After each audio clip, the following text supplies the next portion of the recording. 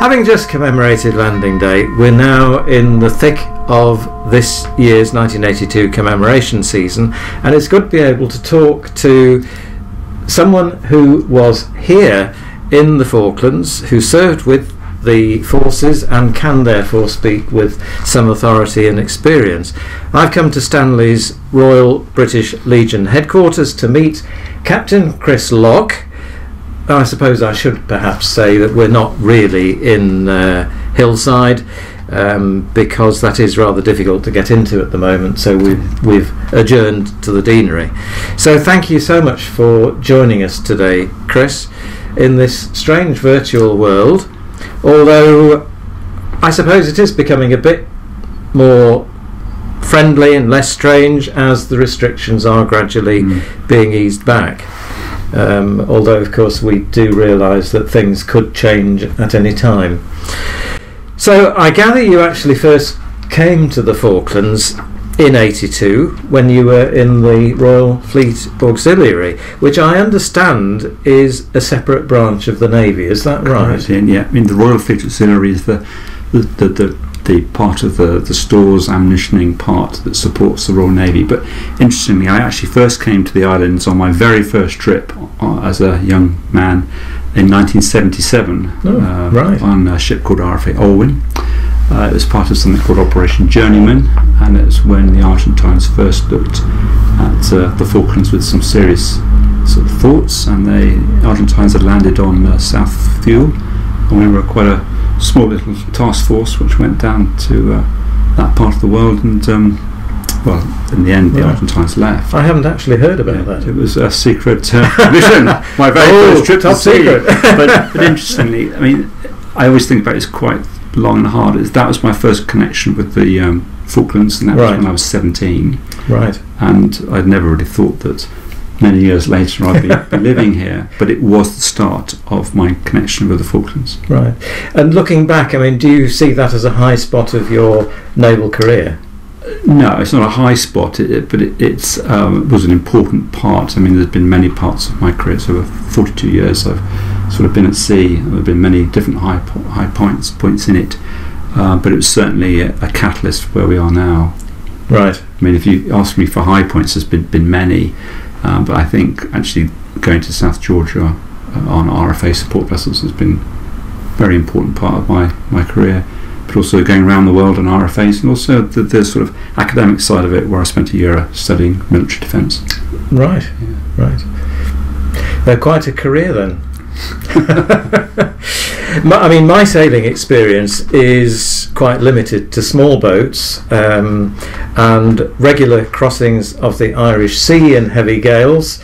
So I do know what it what it's like to, to be at sea in uh, in bad weather. Mm. But I imagine that you can empathise particularly um, with the lads who saved uh, sailed on HMS Glamorgan or Sheffield, or some of the other ships that were actually seeing active service in 82. I mean, it's very hard to sort of empathise with, with, particularly the Sheffield and Glamorgan, because clearly those guys went mm. through a tr- very traumatic um, event but I can empathise with the whole task group. And I can remember you know, being on watch, junior officer. We used to keep the eight o'clock in the morning till midday, and we used to, used to keep GMT. So sunrise was about eleven o'clock, up at eleven in the morning. And I can remember that very clearly, and you know, the very the drag days, the, the poor visibility, of the high seas. So I think thinking about what the guys on the all the ships on the merchant ships and the warships would have been going through, I can really empathise with that. But when you talk about Glamorgan and Sheffield, clearly there was a completely different sort of event going on there for them, mm, and also mm. the Atlantic Conveyor. Yeah, um, yes. Which I just can't imagine what that would be like. Because the Atlantic Conveyor, presumably, I mean, you could have been serving on that. Not the Atlantic Conveyor, because she was a true merchant vessel. Right. The RFA is a, was a was an individual, so it's like a its own flotilla of right. Navy government sponsored vessels, but pu- purely just um, support the navy. The Atlantic Conveyor was a ship taking it from trade, a STUFT ship, uh, just would be normally doing normal operations, commercial operations, and she was used by the by the military mm. to bring the Harriers down, basically. So mm. this the, uh, the, the, the, helicopters. Yeah, yeah.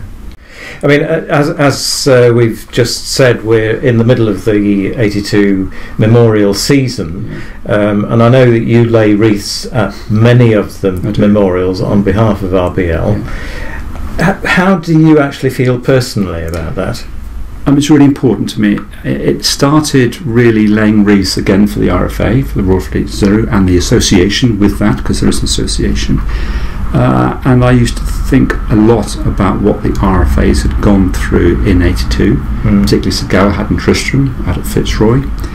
And then when I became the chairman of the British Legion, I sort of brought all those thoughts together collectively, thinking more about um, all the wars that have gone through past and the suffering and the the loss, um, particularly during the two minutes, which clearly you always have the two minutes uh, silence before the wreath laying, and that's when you gather all your thoughts together and think about everybody's collectively um, Mm. what would have gone gone Yeah. through. But as I said, it started with the RFA. I used to lay wreaths in the UK for the RFA, Right. um, and it's progressed to where we are now. Yes, um, and where we are now, we we have l- lots of vets coming down year Sure, after year, but presumably there won't be so many or any uh, Yeah. this year. I'm not aware of any, um, and no, I, I'm absolutely certain there's none this year. Um, but we always, when we can, we always try and engage with veterans, uh, like sociably, and also as the chairman of the British Legion, we always open our doors the British. The British Legion open their doors to veterans. and We always make a point of trying to meet up with them. And what surprises me is that as we go on year in year after, and we're coming up to the 40, well, the Mm. 38th now, Now. but it will be the 40th anniversary.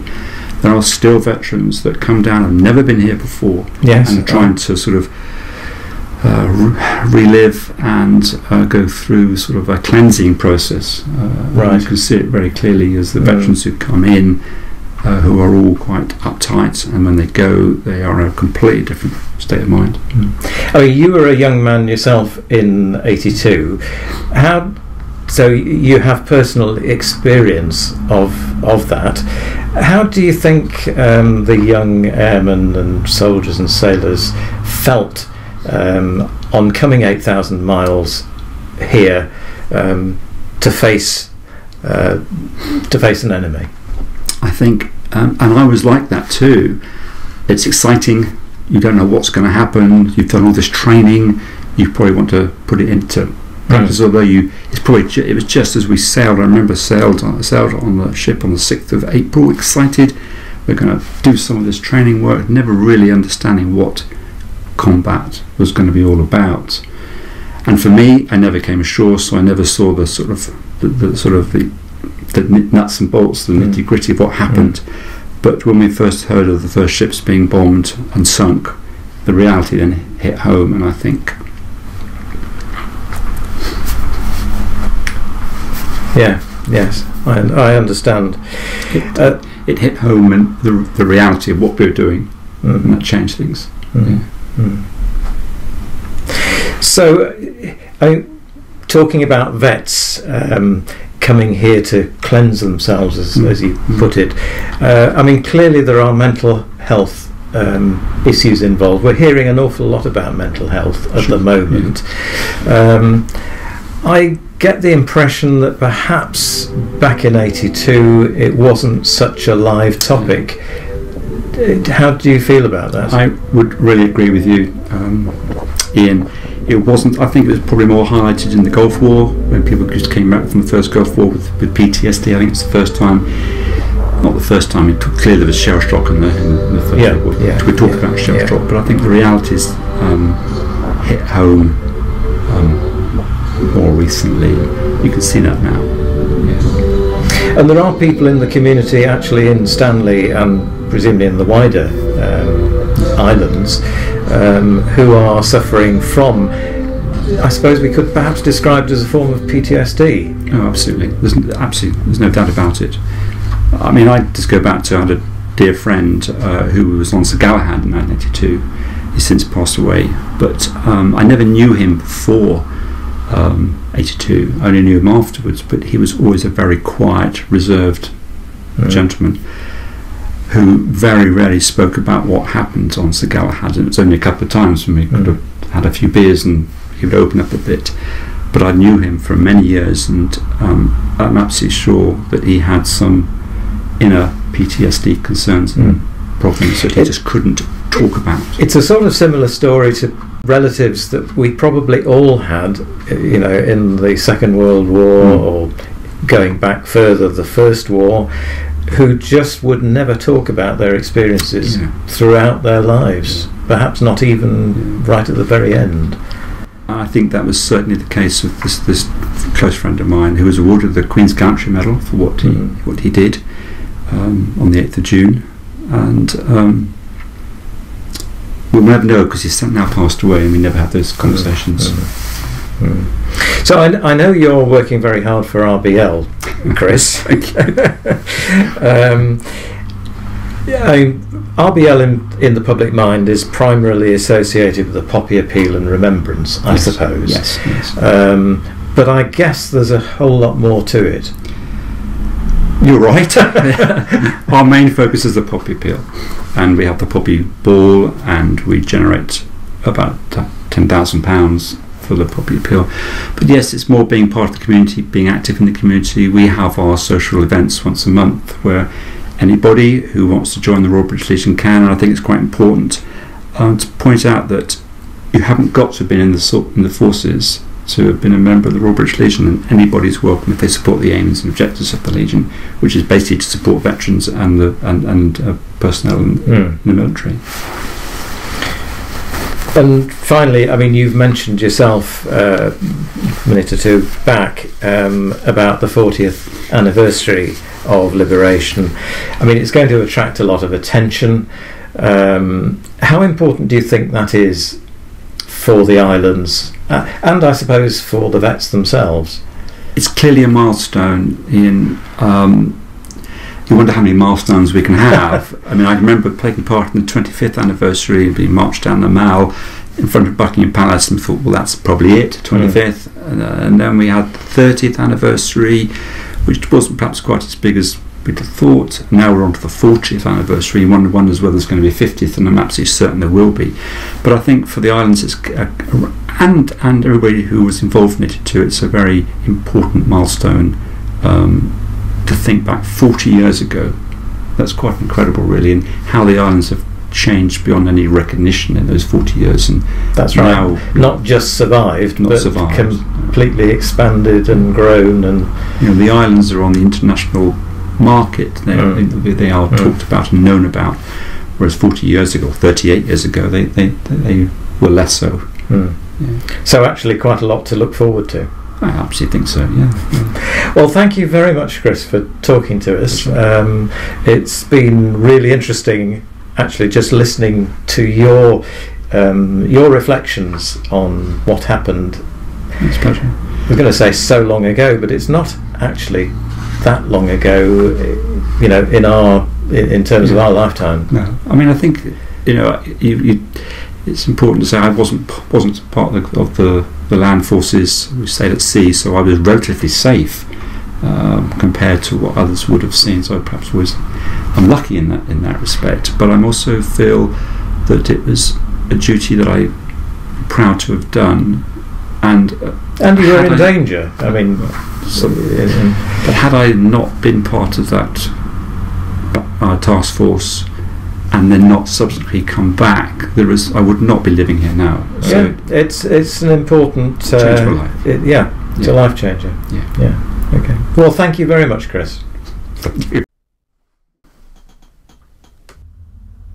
We've spent the last few weeks thinking about COVID 19 and the impact it's having on our own lives. How do we react in a crisis? What does our Christian faith say about loving our neighbour? Today we've just heard Chris Locke talking about remembrance and why it's so important to him to keep alive the memories of those who gave their lives in the Falklands conflict in 1982. But this year, of course, everything is different. So, as you've heard many times before, welcome to the new normal. Even remembering isn't quite the same, with social distancing, little singing, and trying to remember not even to welcome anyone as you would expect to do with a shake of the hand. Our services of remembrance this year, however, are no less meaningful or reverent. Some might say that they are even more so because the current crisis has sharpened our senses and made us aware of what it means to be fighting for our lives. In a sense, we're on the front line ourselves in ensuring that these memorials continue, despite what a world pandemic may have to throw against us. And that sense of resilience and triumph is matched by our opening hymn, although it's on a very different theme the ascension of Jesus into heaven. Hail the day that sees him rise, published by Charles Wesley in 1739, is one of the most popular Ascension Day hymns in the English language, helped by a rousing tune originating in Wales. It really needs no introduction. The hymn makes use of some wonderful language, including phrases like his throne above the skies, yon azure height, and beyond the skies. So it seemed fairly obvious that whilst listening to the words, we should also be watching and thinking about our own skies as the clouds race across. The words are on the screen, so please do join in at home if you would like to.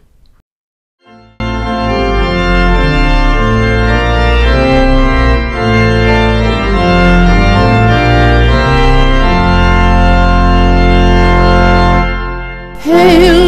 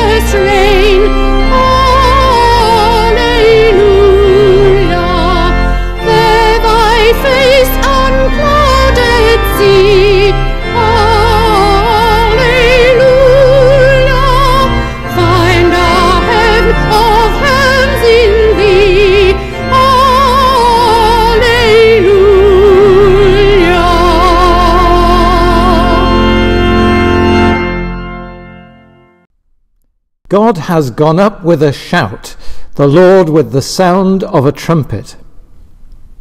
Grace, mercy, and peace from God our Father and the Lord Jesus Christ be with you. Dear brothers and sisters in Christ, for 40 days we have been celebrating with joyful hearts the resurrection of our Lord Jesus Christ, his bursting from the tomb and his defeat of the power of sin and death. He appeared to his disciples many times and told them about the kingdom of God. Today we recall how he left this earth and returned to his Father, ascending into heaven to take his throne over all dominions and powers. Trusting in his reign over all creation and submitting to his kingly yet loving rule, let us hear the story of his parting, read for us this morning by Debbie Lake. The reading is taken from Acts 1, reading from verse 1 through to 11. In my former book, Theophilus, I wrote about all that Jesus began to do and to teach until the day he was taken up to heaven after giving instructions through the Holy Spirit to the apostles he had chosen. After his suffering, he showed himself to these men and gave many convincing proofs that he was alive. He appeared to them over a period of forty days and spoke about the kingdom of God. On one occasion, while he was eating with them, he gave them this command Do not leave Jerusalem, but wait for the gift my Father promised, for which you have heard me speak about. For John baptized with water, but in a few days you will be baptized with the Holy Spirit. So when they met together, they asked him, Lord, are you at this time going to restore the kingdom to Israel? He said to them, It is not for you to know this time or dates the Father has set by his own authority, but you receive power when the Holy Spirit comes on you. And you will be my witness in Jerusalem and in all Judea and Samaria, and to the ends of the earth. After he said this, he was taken up before their eyes, and a cloud hid him from their sight. They were looking intently up to the sky as he was going, when suddenly two men dressed in white stood beside them. Men of Galilee, they said, why do you stand here looking into the sky? This same Jesus who has been taken from you into heaven will come back in the same way you have seen him go into heaven. This is the word of the Lord, and thanks be to God. Amen. Seeing we have a great high priest who has passed through the heaven, Jesus the Son of God, let us offer him the praise worthy of his name. Glory to God in the highest, and peace to his people on earth. Lord God, heavenly King, Almighty God and Father, we worship you, we give you thanks, we praise you for your glory. Lord Jesus Christ, only Son of the Father, Lord God, Lamb of God, you take away the sin of the world. Have mercy on us. You are seated at the right hand of the Father. Receive our prayer. For you alone are the Holy One. You alone are the Lord. You alone are the Most High Jesus Christ, with the Holy Spirit, in the glory of God the Father. Amen. Let us pray that our risen and ascended Lord will lead us to eternal life. Grant, we pray, Almighty God, that as we believe your only begotten Son, our Lord Jesus Christ, to have ascended into the heavens, so we, in heart and mind may also ascend, and with him continually dwell, who is alive and reigns with you, in the unity of the Holy Spirit, one God, now and forever. Amen. For our next hymn, we turn to another well known and popular composition, this time from the pen of Scotsman Walter Chalmers Smith. Based almost entirely on the first letter of Timothy, it's a hymn of praise that focuses on the Creator of all things, the invisible God whose work, whilst remaining a mystery, testifies to his engagement with the world. Smith, born in Aberdeen and a minister who worked primarily in Edinburgh, was a man of wide interests, becoming a well known poet as well as a prolific hymn writer. Immortal Invisible God Only Wise was first published in 1867 and soon captured the public imagination. It has remained in the repertoire of church choirs and congregations to this day. As we sing about the work of the invisible God, we look down towards the cathedral from the upper part of Stanley, and the weather conditions, despite warm days and wonderful sunsets, remind us that winter is almost here. Please do join in the singing if you'd like to, but at this time of ascension, look carefully at the cloud formations.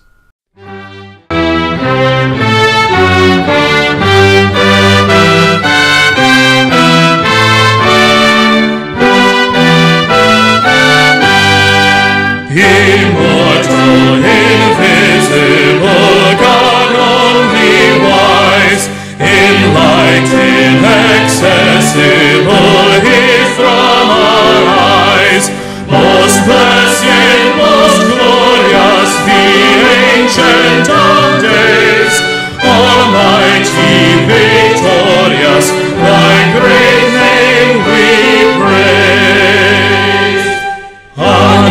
Unresting, unhasting, and silent as light, nor wanting, nor wasting, thou rulest in might.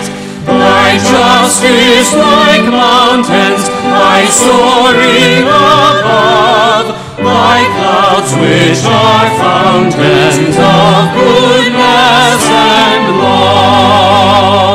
To all life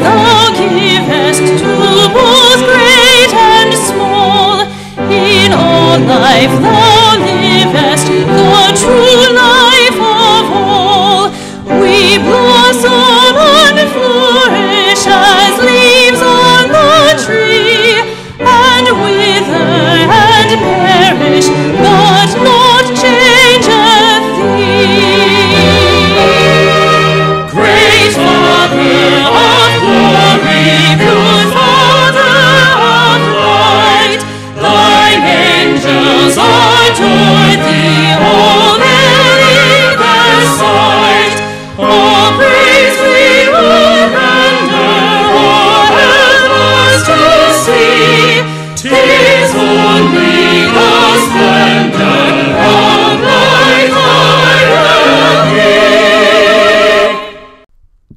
that great hymn of praise, which acknowledges both our own immortality and our complete reliance on God, we turn now to that immortal, invisible God only wise, and in his presence we give thanks for the night now past. The day lies open before us, so let us pray with one heart and mind. As we rejoice in the gift of this new day, so may the light of your presence, O God, stretch our imaginations to sense the majesty and mystery of your Son's ascension. Amen. And as we think about stretching our imaginations, we listen to the Word of God from both the Old Testament and the New. And first, to read the psalm set down for Ascension Day, we welcome Daphne Arthur-Almond, while Canon Kathy Biles reads from the 24th chapter of the Gospel according to Luke. Clap your hands together, all you peoples. O sing to God with shouts of joy. For the Lord Most High is to be feared. He is the great King over all the earth. He subdued the peoples under us and the nations under our feet. He has chosen our heritage for us, the pride of Jacob, whom he loves. God has gone up with a merry noise, the Lord with the sound of the trumpet. O sing praises to God, sing praises. Sing praises to our King, sing praises. For God is the King of all the earth. Sing praises with all your skill. God reigns over the nations. God has taken his seat upon his holy throne.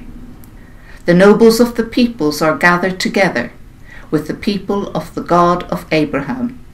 For the powers of the earth belong to God, and he is very highly exalted. Glory be to the Father, and to the Son, and to the Holy Spirit, as it was in the beginning, is now, and shall be for ever. Amen. Hear the gospel of our Lord Jesus Christ according to Luke. Glory to you, O Lord. Then Jesus said to the disciples, These are my words that I spoke to you while I was still with you, that everything written about me in the law of Moses, the prophets, and the Psalms must be fulfilled. Then he opened their minds to understand the Scriptures, and he said to them, Thus it is written that the Messiah is to suffer and to rise from the dead on the third day, and that repentance and forgiveness of sins is to be proclaimed in his name to all nations, beginning from Jerusalem. You are witnesses of these things. And see, I am sending upon you what my Father promised, so stay here in the city until you have been clothed with power from on high. Then he led them out as far as Bethany, and lifting up his hands, he blessed them. While he was blessing them, he withdrew from them and was carried up into heaven. And they worshipped him and returned to Jerusalem with great joy. And they were continually in the temple blessing God. This is the gospel of the Lord. Praise to you, O Christ. Our next hymn, Oh, the Deep, Deep Love of Jesus, is a new one to me, and maybe to you as well. It was written by Samuel Trevor Francis in 1875 after experiencing the love of Jesus as a teenager when contemplating throwing himself into the River Thames one dark night. It proved to be a spiritual turning point for Francis, who went on to become a successful merchant a local preacher with the Plymouth Brethren, and a hymn writer.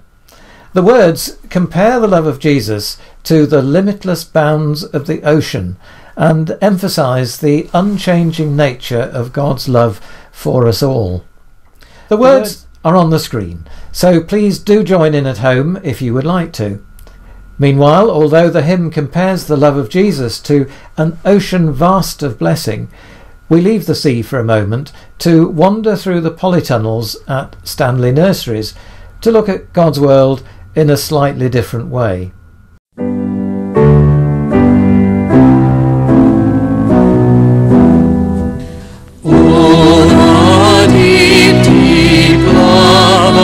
Jesus, vast, unmeasured, boundless, free, rolling as a mighty ocean in its fullness,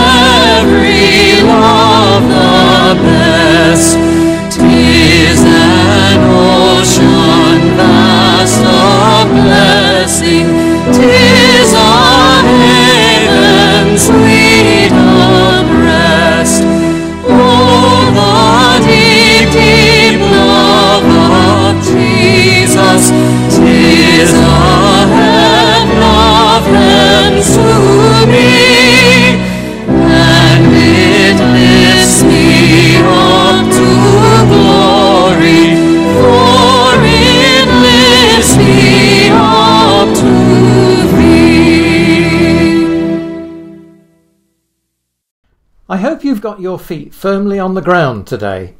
There are plenty of people who can't understand what Ascension is all about, much less believe that Jesus, the Son of God, crucified, dead, and buried, somehow ascended into the heavens to be with his Father, God everlasting, on this 40th day after Easter so many years ago. And here we are celebrating something we can't prove actually happened. Have we taken leave of our senses? After all, everyone knows that after death our bodies remain behind in graveyards like our own, or they get burnt to ashes, which can be disposed in various different ways. Whichever way you think about it, death, in that sense, is the end of the body. Legally speaking, after death, there isn't even any ownership in a body. Legally speaking, after death, there isn't even any ownership in a body because we know that it has to be disposed of. In the words of the funeral service, earth to earth, ashes to ashes, dust to dust, in sure and certain hope of the resurrection to eternal life through our Lord Jesus Christ, who will transform our frail bodies that they may be conformed to his glorious body who died, was buried, and rose again for us. To him be glory for ever. But there, of course, is the clue as to why today became so important in the early church and why it is still celebrated now as one of the major events following those dramatic days after the first Easter. Jesus appears to the disciples. He promises to stay with them, even though dead and he promises to transform their lives by sending the Holy Spirit, which we celebrate shortly at Pentecost. When in the committal following a funeral we talk about transforming our frail bodies that they may be conformed to his glorious body, we're not thinking of Jesus on the cross or in the tomb or even talking with the disciples on the road to Emmaus we're really thinking about him rejoining the Father by his own power. We're thinking of him becoming one with God again. We're thinking about his transformational power. In our case, we are thinking of the soul rejoining its maker. The tradition is that Jesus literally rose through the air to be with his Father and there are several wonderful paintings in English churches which depict the event by showing. The tradition is that Jesus literally rose through the air to be with his Father. And there are several wonderful paintings in early English churches which depict the event by showing two feet sticking out of a cloud. I love that imagery but today we might be rather sceptical about such things, but that isn't to say that it didn't happen. And of course, we say regularly those words in the Nicene Creed He, that is Jesus, ascended into heaven and sits at the right hand of the Father, and shall come again with glory to judge the living and the dead, whose kingdom shall have no end. The historical fact is that for whatever reason, the body of Jesus disappeared. But his resurrected body is described in the presence of 11 of the apostles as being taken up to heaven. Maybe we should be satisfied with that, because there is a sense in which we can try too hard to find logical explanations for everything. We do not and cannot understand everything fully. So it is right today to reflect on one of the mysteries of our Christian faith, and that is how it should be. First, that it is a mystery, and second, that we need to think carefully about it and what it means for us today. Lord, I believe. Help my unbelief. Let us pray. Jesus said to her, I am the resurrection and the life. The one who believes in me will live, even though they die. The Church expresses this faith in the words of the Creed, and I invite you now to join with me at home. I believe in God, the Father Almighty, creator of heaven and earth. I believe in Jesus Christ, his only Son, our Lord, who was conceived by the Holy Spirit, born of the Virgin Mary, suffered under Pontius Pilate, was crucified, died, and was buried. He descended to the dead. On the third day he rose again. He ascended into heaven he is seated at the right hand of the Father, and he will come to judge the living and the dead. I believe in the Holy Spirit, the Holy Catholic Church, the communion of saints, the forgiveness of sins, the resurrection of the body, and the life everlasting. Amen. We come now to a time of intercession to offer prayers for ourselves, for others, and for God's wider world. Let us pray.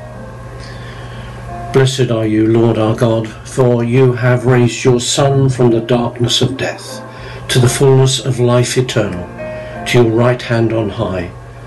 By his death he has destroyed death, and by his rising to life again he has restored us to eternal life. By his ascension he has opened for us the gate of glory. Blessed are you, Father, Son, and Holy Spirit. As we rejoice in the ascension, we give thanks for men and women of vision, for those who have shared their faith with us. We remember all whose lives are clouded by doubt or despair. We pray for those who feel life is dull, that they may come to know the joy of the presence of the ascended Lord. Lord, empower your church and all who claim Christ Jesus as their Saviour to proclaim the good news of your saving acts. As we rejoice in your presence, we remember all who feel lonely and neglected in our world. We ask your blessing on all who are oppressed and those who are struggling to survive, and especially at this time, all who have lost loved ones through the COVID 19 pandemic. We pray for all who are caught up in violence and war, and for those not at peace with each other, with themselves, or with you. As we rejoice in your love, we remember our loved ones, our homes, and our families. We pray for our community and neighbourhood. And we ask your blessing upon all who strive to brighten this world by their dedication and goodness, by their faith and willingness to sacrifice. As we rejoice in your power, we remember all whose powers are waning, the elderly and the infirm, and all who are disabled. We ask your blessing upon all who are ill or have been injured in accidents. May they find courage and hope and in your abiding love. We rejoice that you are great high priest who ascended into heaven and that you are at the right hand of God making intercessions for us. May our loved ones departed and all your faithful rejoice in you and rest in the glory of your kingdom. Merciful Father, accept these prayers for the sake of your Son, our Saviour, Jesus Christ. And now as we gather our prayers, the spoken word, and the innermost thoughts of our hearts and minds. Let us join as one voice in the prayer which Jesus gave his first disciples, saying together, Our Father who art in heaven, hallowed be thy name. Thy kingdom come, thy will be done, on earth as it is in heaven. Give us this day our daily bread and forgive us our trespasses as we forgive those who trespass against us. And lead us not into temptation, but deliver us from evil. For thine is the kingdom, the power, and the glory, for ever and ever. Amen. Our final hymn today was written by the great 18th century hymn writer Isaac Watts. John Wesley changed the opening line from our God to O God, our help in ages past, and the two versions are still in current use today. A paraphrase of Psalm 90, it was first published in 1719 and it has been associated with solemn occasions ever since. Said to have been sung at the last service on the Titanic in 1912, it was also chosen by Winston Churchill in 1941 for a service inaugurating the Atlantic Charter. It's been quoted in novels by H.G. Wells, Evelyn Waugh, and many others, as well as being recorded by famous vocalists like Bing Crosby. We now sing it at Ascension as we praise God for his help in ages past and express our hope for all the years to come. We also revisit the starting point of the service as we go to Blue Beach and remember all those who lost their lives on landing day.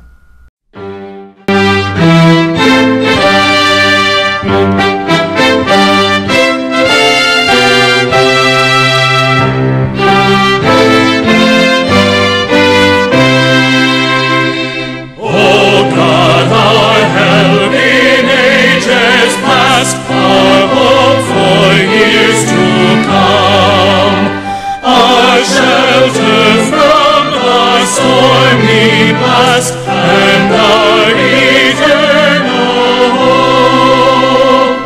Under the shadow of thy throne, thy saints have dwelt secure. Sufficient is thine arm alone, and our defense is. Before the hills in order stood, or earth received her frame. From everlasting thou art God, to endless years the same. A thousand ages in thy sight are like an evening gone. Short as the watch that ends the night before the rising sun.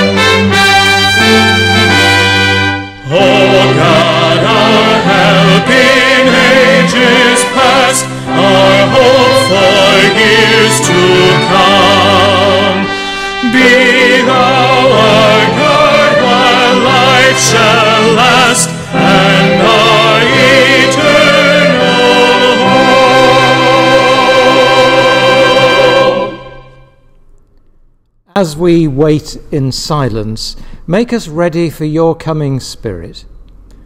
As we listen to your word, make us ready for your coming Spirit. As we worship you in majesty, make us ready for your coming Spirit. As we long for your refreshing, make us ready for your coming Spirit. As we long for your renewing, make us ready for your coming Spirit. As we long for your equipping, make us ready for your Holy Spirit. As we long for your empowering, make us ready for your coming Spirit. We hope you are enjoying being with us during this season of Easter and beyond. We cannot be quite certain of when live services will restart in the real cathedral, and we certainly look forward to having you with us again next Sunday. Even though Christ Church has now been reopened for private worship, social distancing and other restrictions remain in force, making it impractical to hold regular Sunday services. And we owe it to the community, I'm sure you will all agree, to remain cautious.